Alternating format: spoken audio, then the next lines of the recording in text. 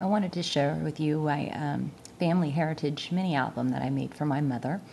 Uh, it's supposed to be a special album that I've never made one for her. I've made one for lots of the, you know, kids in the family and, and that sort of thing, but never one for, for the grown-ups, really. And this is kind of my first um, real sort of um, vintage-looking work that I've done. But um, noticed that there's a lot of ink involved in, in vintage, but I have to say I like it a lot more than I thought I would. Um, I had a lot of fun making it.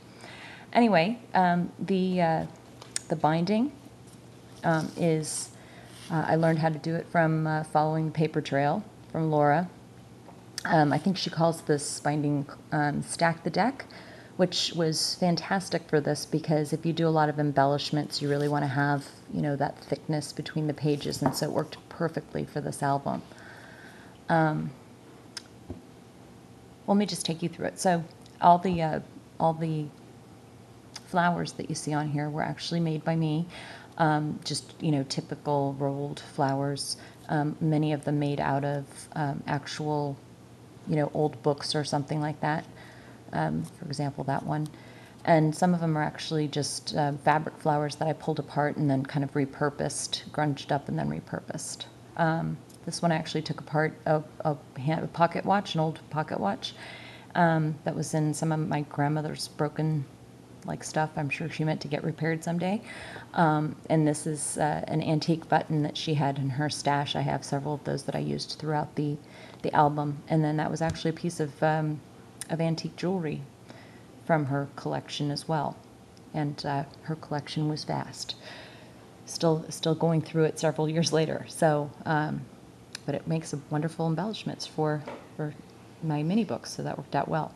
Um, the actual material used on the binding here is um, grass cloth from a wallpaper sample, and I really like the look of it. I would not say that I would necessarily go that route again because it is kind of fragile. So on the edges, it did start to fray a little bit like here. So I'm having to sort of glue it back down again. But overall, I really like the look. So let me take you through the book. So on the inside pocket here, um, I think that's the uh, Martha Stewart double arches punch. Um, and this is another one of the antique buttons from my grandmother's uh, collection.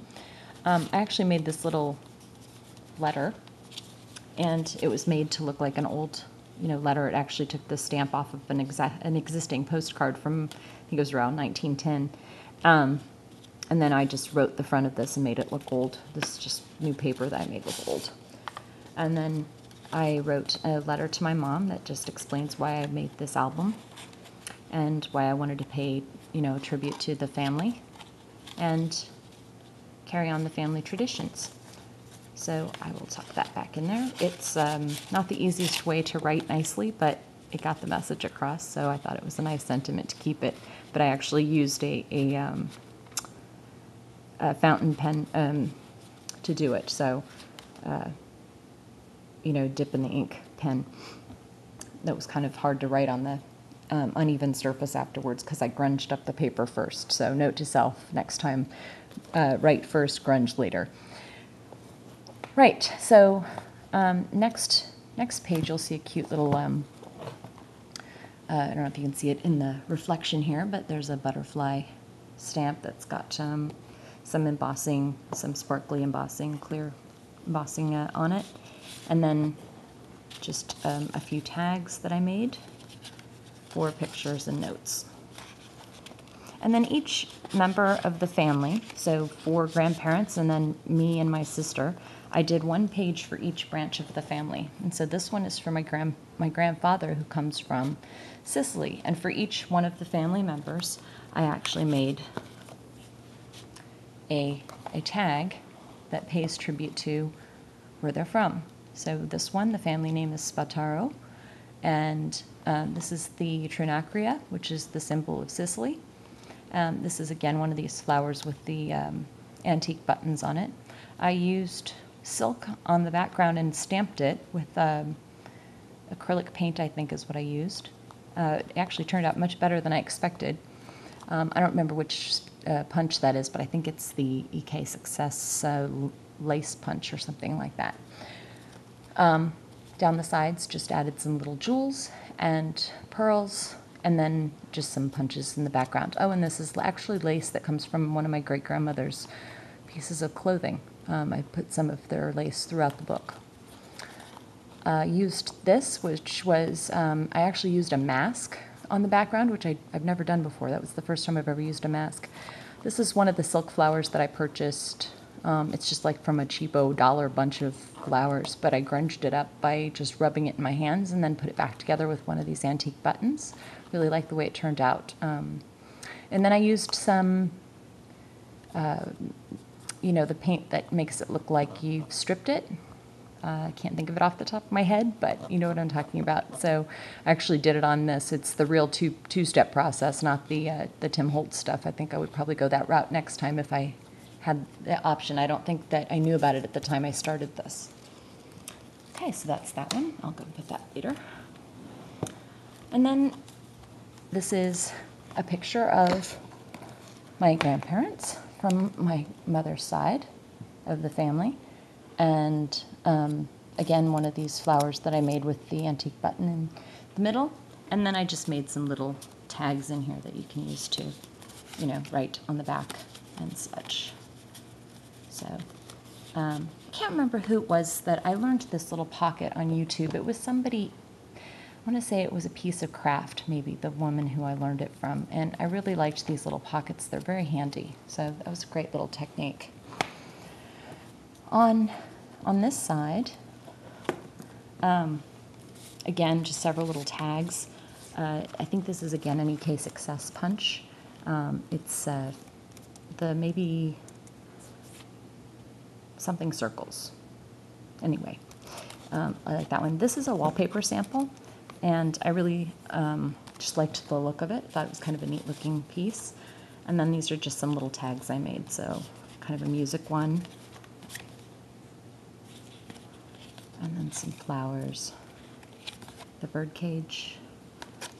And then this one I liked a lot because this is actually the side of my Italian family that moved to Belgium, and um, this is actually from Brussels, which is where they grew up, but they were Italian. And this is a family picture of that family, so, and that's me.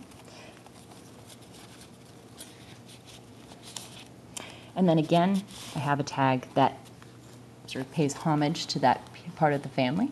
And on this on this one, it was the Spataros, which is I'm sorry, the Costanzos, which is my mother's mother, and her family um, moved to, like I said, to, to Brussels, and they were all tailors, and so that's why I have the uh, the bodice here with the pins and you know the stuck-on pearls, and again one of these um, really pretty antique buttons. Really like that one a lot.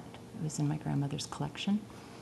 And on the back, just, you know, used some stamps that I had that I don't get to use very often actually to make this wonderful little background. So, um, again, another old button here. Then we turn to the next page. And on this one, I actually have a picture of my mom when she was a little girl.